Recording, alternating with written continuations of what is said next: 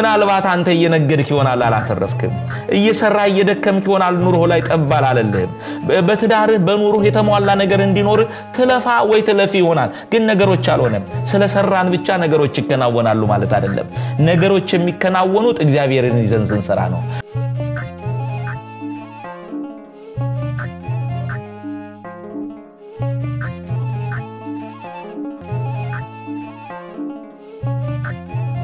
በስመ አብ ወወልድ ወመንፈስ ቅዱስ አሃዱ አምላክ አሜን።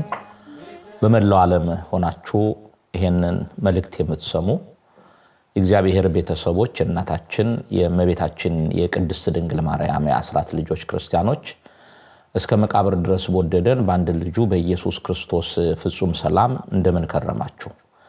ምሕረቱን ቸርነቱን ከኛ ያላራቀ እንደ ኃጢአታችን ብዛት እንደ ሰውነታችን ክፋት ተመልክቶ ሳያጠፋን ዕድሜ ለንስሐ እየሰጠ በፍቅሩ እየተንከባከበ የጎደለንን እየሞላ የተጣመመውን እያቃና በሕይወታችን ላይ በአውሎ በወጀብን ቢሆን እያሳለፈ ይህንን አዲስ ቀን የጨምረልን የአባቶቻችን አምላክ እግዚአብሔር ስሙ ለዘላለም የተመሰገነ ይሁን። የእናታችን የእመቤታችን የቅድስት ድንግል ማርያም አማላጅነት፣ የመላእክቱ ጥበቃ፣ የቅዱሳኑ ጸሎት አይለየን።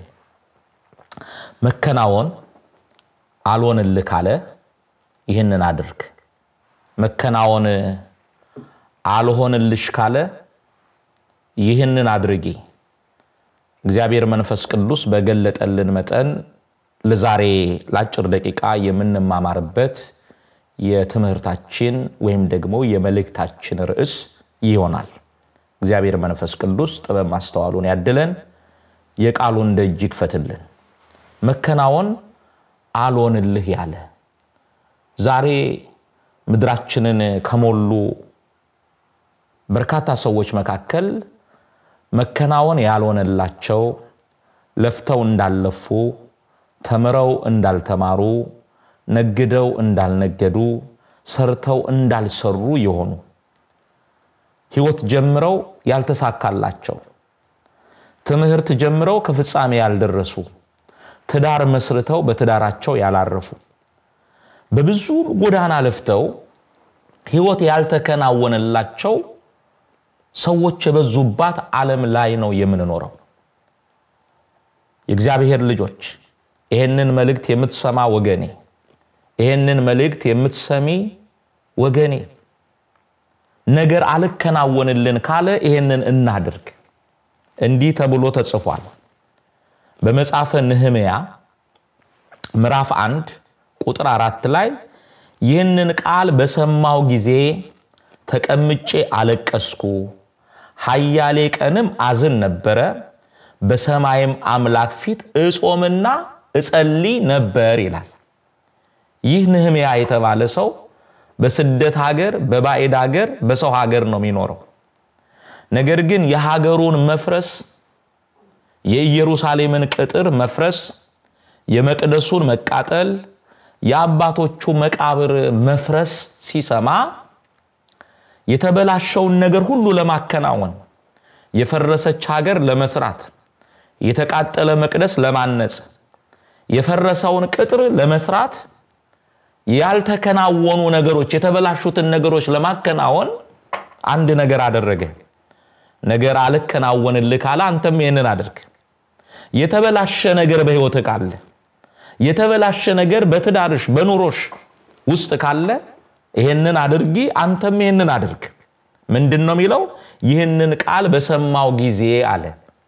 የአባቶቹ ሀገር እንደፈረሰ፣ መቅደሱ እንደተቃጠለ፣ የአባቶቹ መቃብር እንደተማሰ፣ የእስራኤል ቅጥር እንደፈረሰ በሰማሁ ጊዜ ተቀምጬ አለቀስኩ፣ ኃያሌ ቀንም አዝን ነበረ፣ በሰማይም አምላክ ፊት እጾምና እጸልይ ነበር።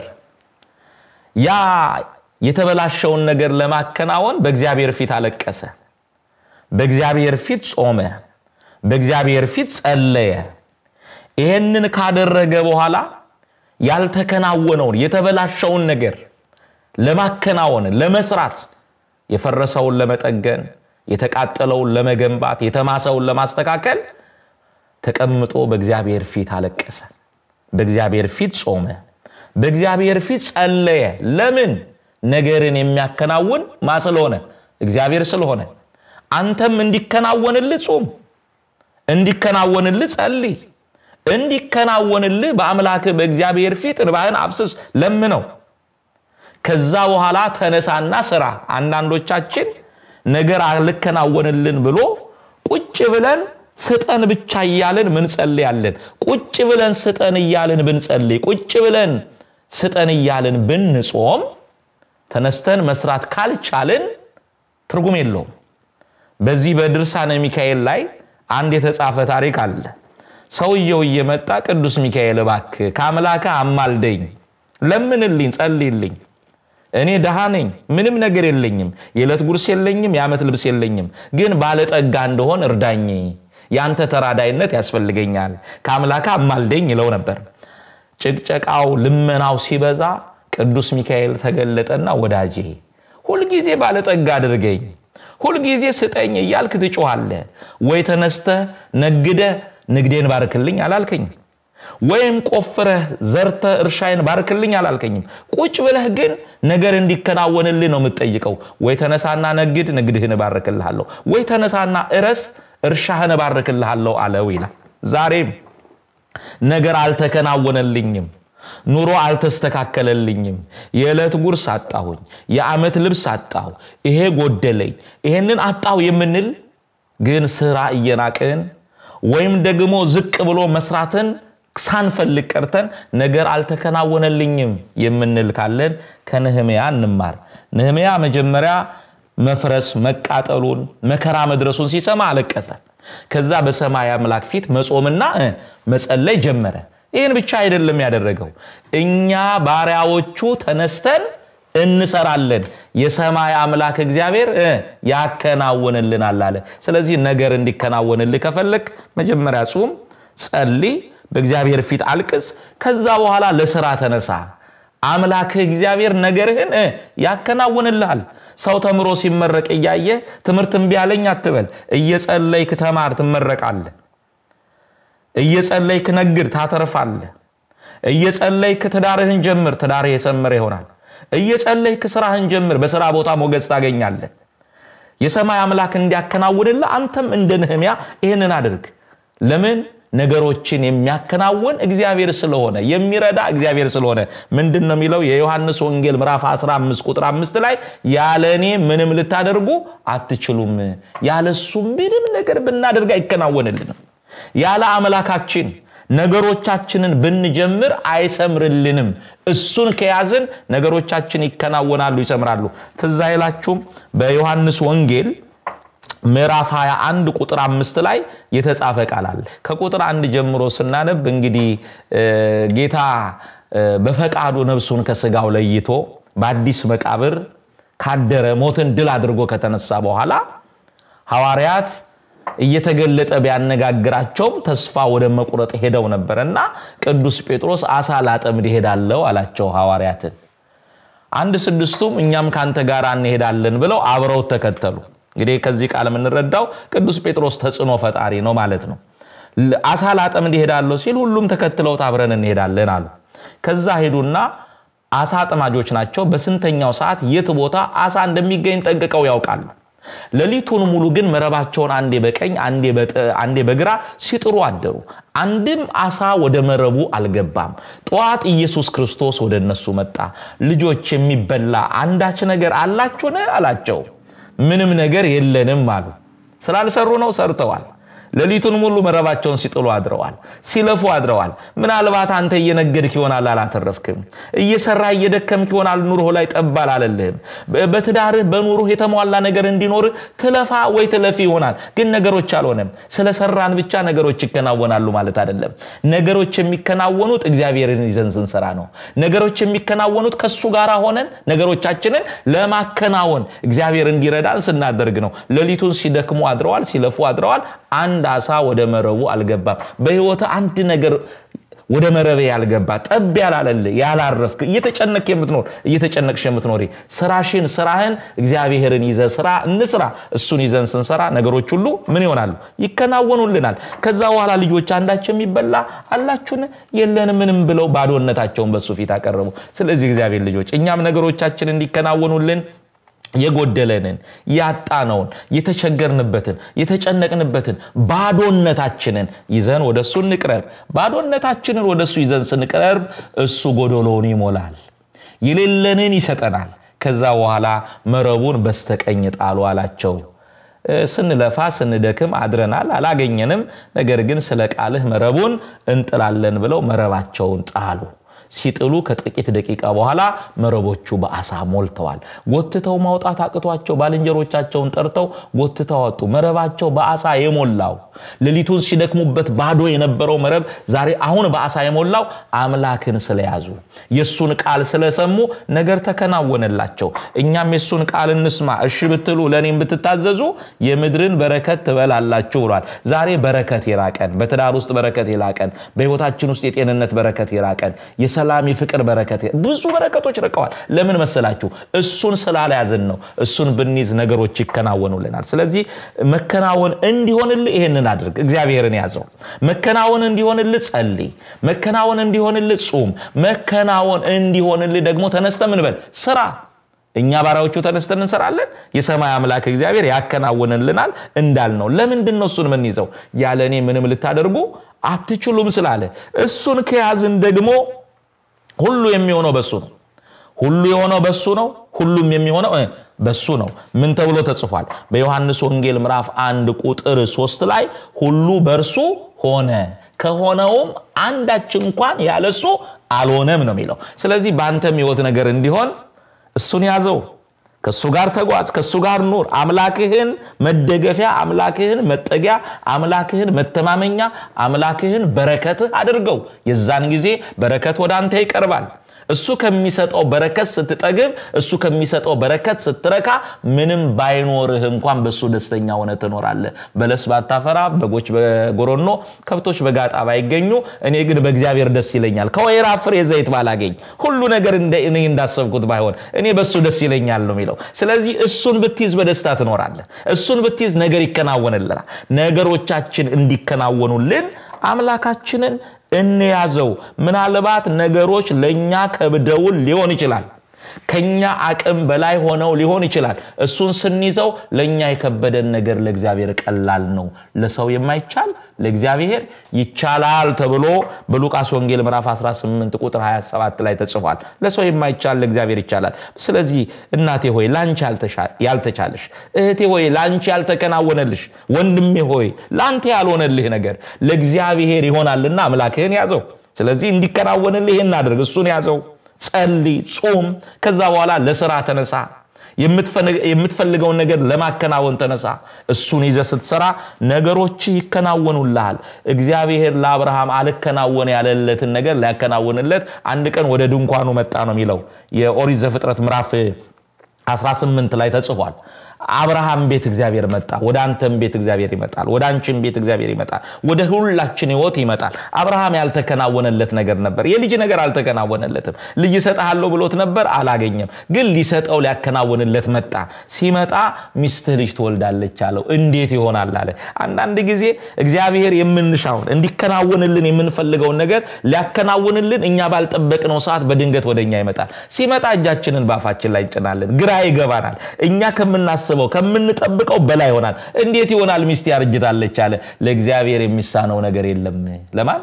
ለእግዚአብሔር የሚሳነው ነገር የለም። ያንተን ታሪክ ለመቀየር ለእግዚአብሔር የሚሳነው ነገር የለም።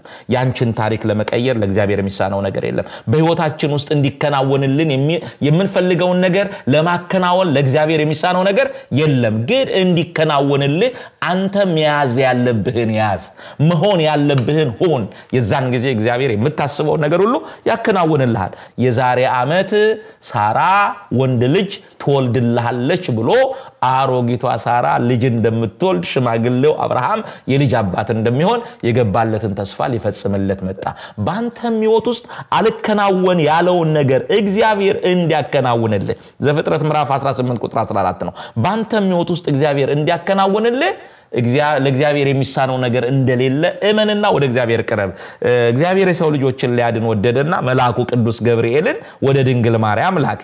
ቅዱስ ገብርኤልም እጅ እየነሳ እመቤታችንን ሰላምታ ከሰጣት በኋላ ልጅ ትወልጃለሽ አላት። እመቤታችን እንዲህ የሉቃስ ወንጌል ምዕራፍ 1 ቁጥር 34 ላይ ማርያምም መልአኩን ወንድ ሳላውቅ ይህ እንዴት ይሆናል አለች።